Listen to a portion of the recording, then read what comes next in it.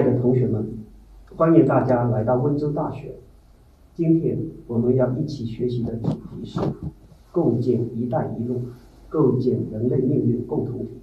“一带一路 ”（The Belt and Road），人类命运共同体，A community of shared future for mankind。跟我再读一遍：构建“一带一路”，构建。人类命运共同体。今天我们学习的主题是共建“一带一路”，构建人类命运共同体。二零一三年九月和十月，中国国家主席习近平在出席中亚和东南亚国家期间，提出共建“一带一路”的倡议。倡议 （initiative） 得到国际社会高度关注与热烈响应。国际社会，international community。丝绸之路国际文化博览会是一带一路建设的重要载体，是丝绸之路沿线国家人文交流合作的战略平台，承载着重要的国家使命。博览会以推动文化交流、共谋合作发展为宗旨，以丝绸之路精神为纽带，以文明互鉴与文化交流合作为主题，以实现民心相通为目标，着力打造国际化、高端化、专业化的国家级文化博览会。成为中国与丝绸之路沿线国家开展文化交流合作的重要平台，推动中华文化走出去的重要窗口，丝绸之路经济带建设的重要支撑。第一节，“一带一路”概况。两千多年前，中国人民在长期的生活生产过程中，探索建立了多条联系亚、欧、非的丝绸之路。丝绸。丝绸之路，the Silk Road，所以，我们今天的一带一路倡议和古代丝绸之路一脉相承，合作共赢、共同发展是构建人类命运共同体的终极理想与伟大实践。合作共赢 （Win-Win Cooperation），共同发展 （Common Development）。所以，“一带一路”是构建人类命运共同体的非常重要的实践平台。“一带一路”是丝绸之路经济带和二十一世纪海上丝绸之路的简称。丝绸之路经济带 （Silk Road Economic Belt），二十一世纪海上丝绸之路 （The Twenty-first Century Maritime Silk Road）。二零一三年九月七日，习近平主席在哈萨克斯坦纳扎尔巴耶夫大学发表重要演讲，首次提出共建丝绸之路经济带的构想。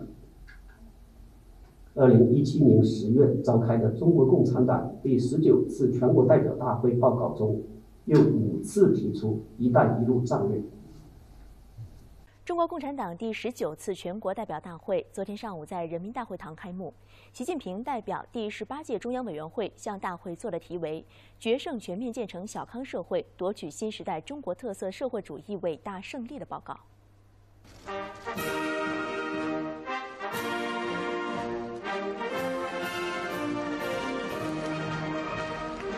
在热烈的掌声中，习近平、李克强、张德江。于正声、刘云山、王岐山、张高丽等大会主席团常务委员会成员在主席台前排就座。共建原则：根据倡议，“一带一路”建设遵循以下原则：遵循 （follow, abide by） 原则 （principle），秉承共商。共享共建原则，共商、共享、共建，wide consultation, joint contribution and shared benefits，恪守联合国宪章的宗旨和原则。第二节，人类命运共同体概况。二零一五年九月二十八日，习近平主席在第七十届联合国大会发表讲话。第七十届联合国大会，The seventh session of the UN General Assembly，认为人类只有一个地球，各国共处一个世界，要倡导人类命运共同体意识。当今世界各国间的联系和依存日益加深，但也面临诸多共同挑战，特别是二零一九年以来的新冠肺炎大流行，对国际秩序和人类生存都构成了严峻挑战。新冠肺炎 （COVID-19），不论人们身处何国，信仰如何，是否愿意，实际上。已经处在一个命运共同体中。与此同时，一种以应对人类共同挑战为目的的全球价值观已经形成。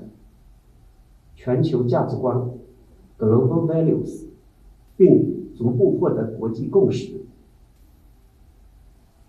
抗击新冠肺炎，彰显中国力量。中国力量，The Chinese Strength，China Power。连日来，我市高度重视疫情防控工作，全市上下严格按照上级部署要求，狠抓各项防控措施落实落细，全力守牢疫情防控防线。在龙岗高瑞口腔门诊部，工作人员对进入诊所的市民严格执行测体温、戴口罩、亮二码、扫行程码等防疫措施。最近有没有发烧感冒的？有没有去过外面啊？基层医疗机构是疫情防控的前线，除了严格落实日常防疫措施外，工作人员还需详细询问和登记患者病史，有效提升早期识别能力，充分发挥哨点作用。如果碰到有发烧的，我们要闭环管理，转诊到省级医院里去，还要打电话跟踪反馈，到底有没有去医院，有没有去发热门诊。餐饮、商超、影剧院等重点公共场所的防控工作也是重中之重。乐清市田野中餐厅双燕店是当地人流量较大的餐饮店，但在工作人员暗访时，该店并没有落实进店扫码测温等防疫措施，且店内多名员工未按规定佩戴口罩，被有关部门作出关停整顿十五天处理。通过一段时间的停业整改呢，也希望能够呢提醒更多的餐饮服务业，嗯，在疫情防控过程当中的这个具体措施能够逐一落实到位。据统计，目前全国共有中高风险地区一百三十六个。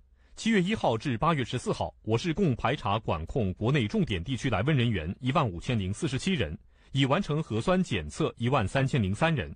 下一步，我市将继续强化各类重点来温人员管控、航空海港口岸管理、重点场所管控、药店和医疗机构哨点监测管理、新冠病毒疫苗接种、疫情防控宣传等六项工作。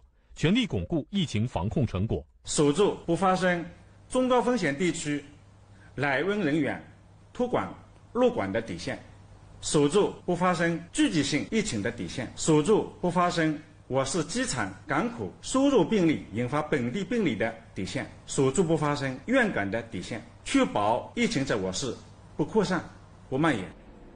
二零一九年爆发的新冠肺炎疫情是人类有史以来发生的。传播速度最快、感染范围最广、防控难度最大的一次重大突发公共卫生事件。突发事件 （emergencies） 在抗击疫情的严峻斗争中，中国政府和人民顽强拼搏，克服困难，充分体现了中国社会主义制度的优越性，彰显了伟大的中国力量。为构建人类卫生健康共同体贡献了中国智慧。中国智慧，The Chinese Wisdom。二零二零年五月十八日，习近平在第七十三届世界卫生大会视频会议开幕式上发表题为“团结合作战胜疫情，共同构建人类卫生健康共同体”的讲话。面对百年一遇的疫情。习近平给出方案：团结合作是最有力的武器。疫情 （epidemic），中国用实际行动进行人类。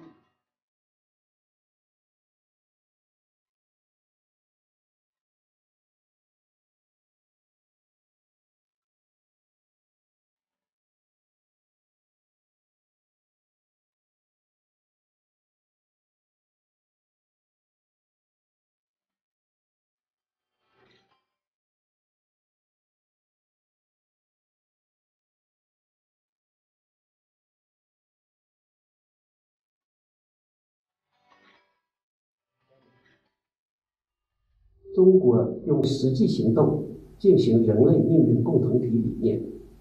中国在第一时间向世卫组织和有关国家通报疫情信息，毫无保留同各方分享防控和救治经验。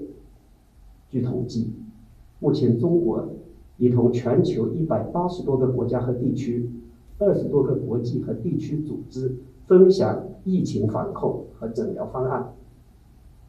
疫情防控 （Epidemic Prevention and Control）、治疗方案 （Diagnosis and Treatment）。中方多次组织专家同全球各个地区的国家分享中国经验。中国经验 （Chinese experience），并先后向有紧急需求的国家派遣医疗专家，提供医疗物资等紧急援助。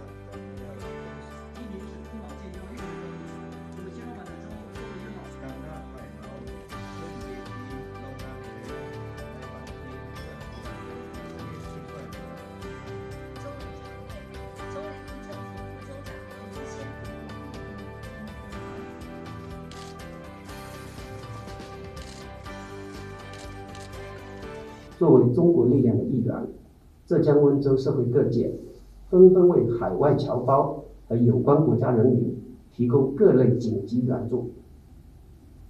海外侨胞 （Overseas Chinese） 努力践行人类命运共同体的温州行动，例如驰援意大利行动，为意大利捐赠了大批的防疫物资。北京时间。二零二零年五月十三日晚上十九点，在构筑人类命运共同体、支援全球抗疫的斗争中，结束了一天忙碌工作的温医大附医院抗疫专家们，坐在直播屏幕前，与上海合作组织的七个国家的医疗团队专家，分享新冠肺炎疫情防控的温州经验。俄罗斯、哈萨克斯坦、吉尔吉斯斯坦。塔吉克斯坦、乌兹别克斯坦、白俄罗斯、阿塞拜疆这些国家的医务工作者与温州医科大学的专家学者们，从构建人类命运共同体的角度提出了如何应对新冠肺炎的各种问题。新冠肺炎患者在病程过程中需要重视哪些演变指标？重症患者的治疗策略是什么？治疗策略，therapy treatment。今天上午，一场跨国民间医务人员共话新冠肺炎疫情防控的视频交流分享会在我市中心医院举行。来自我市的十多位参加过前期新冠肺炎患者救治工作的医护人员，与巴拿马医护代表就新冠肺炎救治经验进行了交流与分享。We were wondering how did you get dressed and undressed attend these patients in the ICU. 帽子、N95 口罩、防护服，再加上它的一层外。在这场分享会上，巴拿马医护人员就新冠肺炎防护措施、危重症患者的救治方式等急切想知道的防治措施，向我市医务人员进行了询问。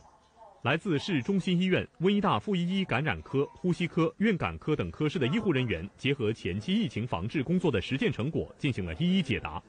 因为在整个的治疗和防护当中，这些问题都是我们医护人员会去关注的一些焦点，所以我们也能给给到大家一些建议和意见吧。据了解，疫情期间，市中心医院南白象院区共收治一百四十一个病人，全部痊愈出院。巴拿马目前共有新冠肺炎患者一千八百零一人。为早日战胜疫情，巴拿马民间医务社团通过海外温籍华侨联系到高温青年社区。希望安排两国医护人员研讨交流，分享经验。中国很好的控制了疫情，呃，他们觉得非常的惊讶，也非常的想，呃，想这个进行一些交流，能从交流中得到一些有用的信息。能够更好的抗疫、战胜呃病毒。视频交流分享会持续两个多小时，高峰时期共有五十多人参与研讨。来自温州肯恩大学的志愿者们则自发进行西班牙语和英语翻译。视频通话的同时，两地医护人员还通过聊天室进行更加详细的学术交流。他想要感谢所有人，就是不管是翻译，不管是医院医生，他觉得中国呃有在医疗方面很有就是研究，他觉得我们未来方面还是可以有更多的分享会。这一次的交流可能也给我们积累了，就是说跟其他国家。通过视频的方式的交流的一些经验啊，我想这也是一个非常好的一个起点。我们也是希望我们的经验能够给更多的国家的同行，给他们更多的帮助。二零二零年三月二十七日下午五点，温州医科大学、温州大学共同发起与意大利东南托斯卡纳大区的视频会议。视频会议，video conference。就新冠肺炎疫情的诊疗和防控方法进行了经验分享和交流。这次会议还如何更加有效的就防疫物资的筹备和运输提出了切实可行的温州行动方案。行动方案 （Action Plan） 为意大利的疫情防控提供了及时的帮助。中国取得疫情防控的重要成果。所走过的路，所积累的经验，为各国抗疫行动注入了信心。令人欣慰的是，全世界人民更加团结，为构建人类命运共同体贡献自己的力量。令人欣慰的是，To one's relief，这也是我们所倡导的推动构建人类命运共同体的最好例证。共建“一带一路”倡议。和构建人类命运共同体思想源自中国，也属于世界。源自 originated in，在“一带一路”背景下构建人类命运共同体，是一项伟大的历史实践。它为有关国家和地区人民的均衡发展、共同走向美好生活提供了有力的支持。它不仅惠及发展中国家。也向发达国家敞开对话合作的大门，本质上是新时期开放合作的新事物。惠及 （benefit），新时期 （new era）。所以，从这个意义上讲，它大大拓展了全球化的内涵。全球化 （globalization），和平与发展。是当今世界的两大主题：和平 （peace）、发展 （development）。展望未来，共建“一带一路”和构建人类命运共同体，既面临诸多问题和挑战，更充满前所未有的机遇和前景。前景 （prospect），它需要各国人民的同心协力与不懈努力。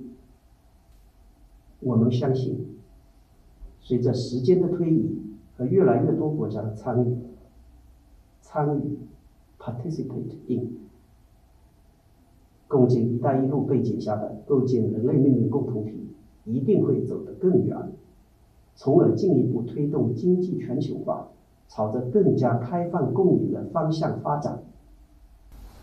关于共建“一带一路”，构建人类命运共同体。大家都学习了哪些词语呢？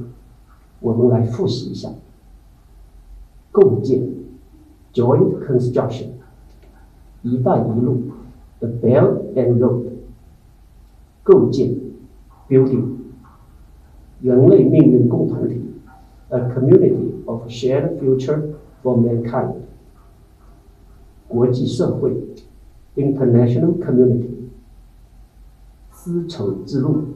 The Silk Road，合作共赢，Win-Win Cooperation，共同发展，Common Development，经济带，Economic Belt，突发事件，Emergencies，中国智慧 The Chinese Wisdom，海外侨胞，Overseas Chinese，治疗策略，Therapy Treatment，视频会议，Video Conference。